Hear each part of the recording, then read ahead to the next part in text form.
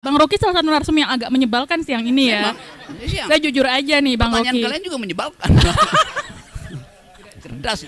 konferensi pers Rocky Gerung mengklarifikasi pernyataannya yang menyebut Presiden Bajingan tolol justru membuat suasana menjadi sedikit kurang bersahabat.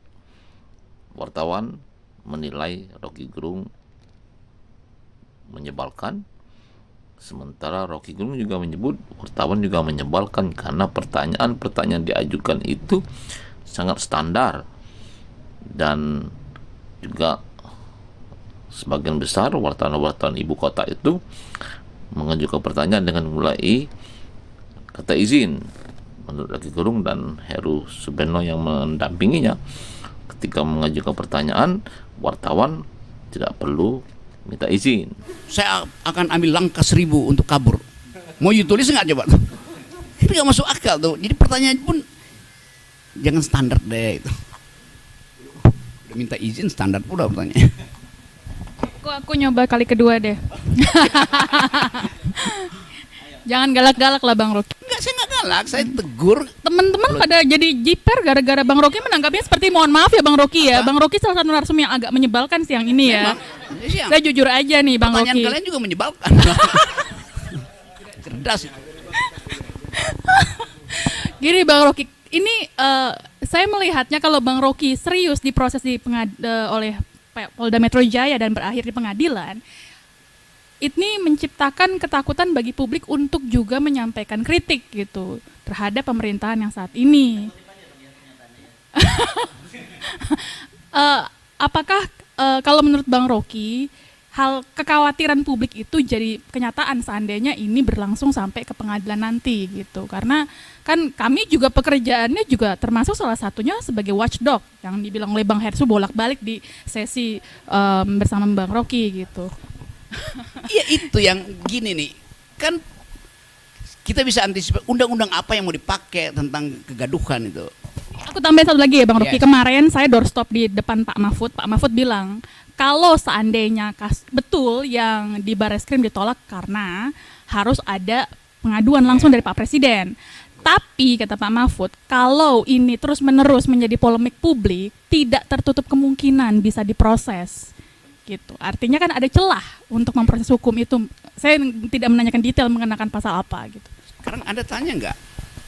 Kegaduhan yang dimaksud Undang-Undang 46 itu setara nggak dengan polemik publik? Tanya. ketika ditanya soal pasal-pasal yang menurut Mahfud MD itu sebenarnya tidak bisa diproses tetapi kalau menurut M, Mahfud MD kemudian ada semacam polemik maka pasal-pasal yang dijelaskan kepada Rocky Gerung itu kemudian bisa diterapkan nah persoalan lain yang menyebabkan kemudian Rocky Gerung bongkar-bongkaran terhadap pasal-pasal yang dimaksud dan dia menyebutnya sebagai asal usul Tanya dong pasal. pada Mahfud.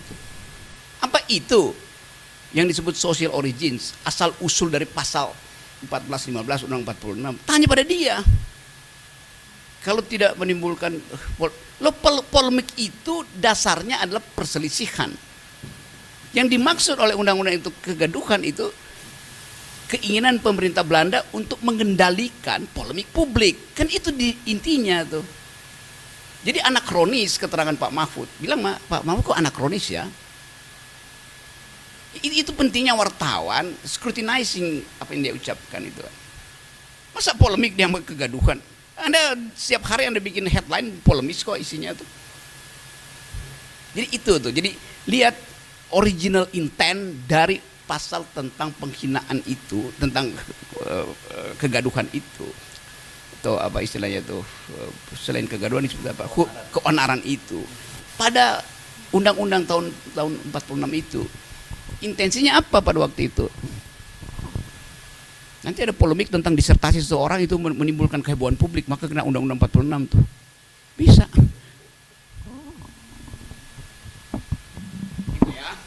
Oke, fair kan? Men- Menyebalkan nggak jawaban saya? Ah, Santi.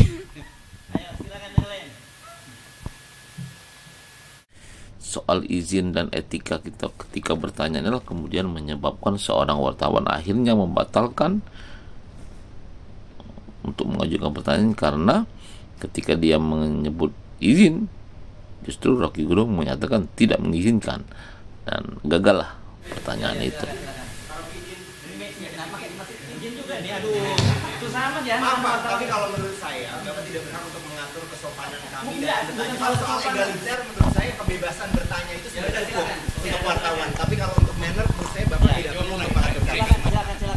Izin ya Pak? Tidak, saya tidak izinkan. Iya, oke. Oh. Oke, oke. Hanya karena persoalan izin saya tidak diizinkan bertanya Pak. Izin saya bilang tidak diizinkan. Oke. Oke. Itu malah lebih tidak egaliter Pak, mohon maaf. Artinya Anda tidak perlu izin kalau gitu. Bilang aja saya mau bicara itu. Kenapa Anda Teman- minta izin? Teman-teman yang izin tadi tetap diizinkan bertanya Pak. Tidak, saya masalah. tidak izinkan. Saya Baik. koreksi dulu tuh. Baik, baik. Enggak, terima kasih Pak, terima kasih.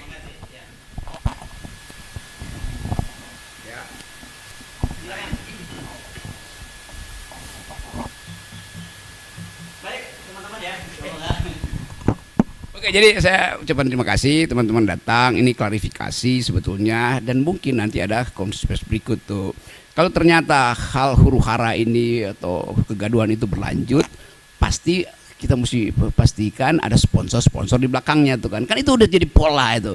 Tapi saya tidak mendahului eh, proses hukum dan saya tahu mungkin dalam satu dua hari ini akan diproses secara lebih formal. Tapi saya terangkan dulu bahwa saya ingin hentikan kegaduhan ini. Saya minta maaf karena ucapan saya itu menimbulkan kegelisahan, menimbulkan tadi polemik itu.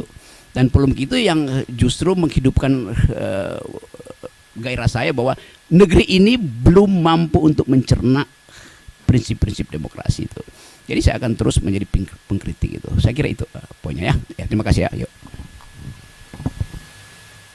Oke baik teman-teman terima kasih em, atas kehadirannya kami nah ini untuk untuk sopan santun saya tentu akan mohon maaf kalau ada beberapa hal yang tidak berkenan dalam eh, pertemuan ini. Eh, mudah-mudahan kita bisa ketemu lagi dalam waktu yang tidak lama lagi gitu ya Bung Rocky ya.